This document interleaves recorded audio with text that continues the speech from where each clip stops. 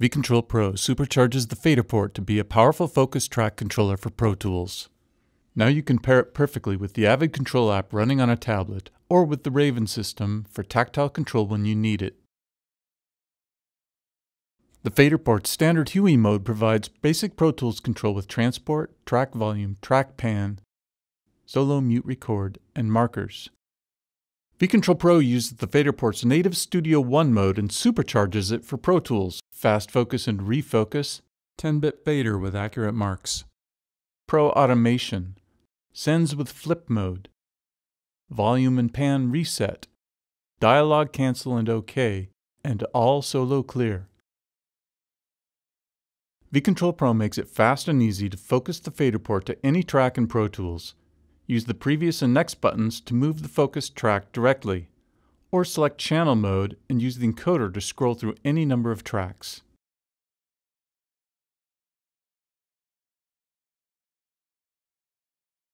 You can also select a track with a mouse or any other surface. If you select a track outside the current bank, V-Control Pro immediately blinks the channel button to show it is not focused. V-Control Pro's innovative refocus feature finds the track for you. Simply tap the blinking button to quickly refocus. Fast Focus and Refocus make the Faderport integrate perfectly with the Avid Control app. Here you can see the Avid Control app's filter and layouts feature. I show the VCA Masters tracks, select one, and refocus. Incredibly fast and easy. With the Slate Raven, the Faderport will immediately focus to any track you select. V-Control Pro increases the fader resolution to 10 bits and accurately maps Pro Tools to the fader scale marks. Now you can use the fader with complete confidence. V-Control Pro turns the Faderport into a first-class automation controller. Select any automation mode, off, touch, latch, write, read, and trim. When using touch or latch mode, the red buttons blink to indicate automation is armed but not engaged. Then when you touch the fader, it instantly engages write mode, indicated by solid red lit buttons. And when using touch mode, writing is instantly disengaged when you release the fader. Now you can automate Pro Tools tracks with confidence and precision. V-Control Pro adds Pro Tools Sends control with flip mode. Tap Link, Master, Click, or Section to select Send A, B, C, or D. Now the encoder adjusts that send level. Pushing the encoder toggles the send between pre-fader and post-fader. Press the bypass button to change to flip mode.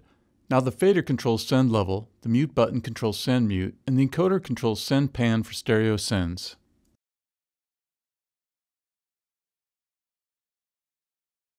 To reset the fader to 0 dB, hold shift and touch the fader. To reset the pan to center, hold shift and push the encoder. To clear all solos of the entire project, hold Shift and press Solo. When V-Control Pro detects Pro Tools displaying a dialog such as when adding a marker, it blinks the previous and next buttons. Press previous to cancel or press next to OK the dialog. Very handy. See the video description below for links to download V-Control Pro and to get a free trial license. To set up the Faderport for supercharged Pro Tools control, make sure the Faderport is running in native Studio One mode and not HUI mode. Select Setups in V-Control Pro, then Controllers Add New, and select Faderport V2. A setup with Pro Tools will be automatically created. Select the Faderport in the setup and set the bank width. Set for 32 channels if using the Avid Control app or using it standalone. Set for 24 channels if using the Raven or any other 24 fader surface.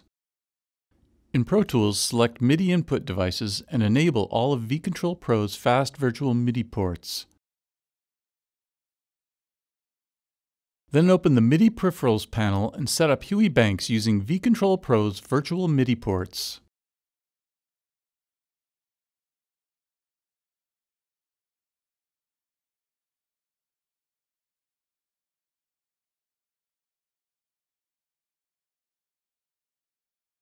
And finally, open Pro Tools Preferences and set controllers to operate best for your workflow.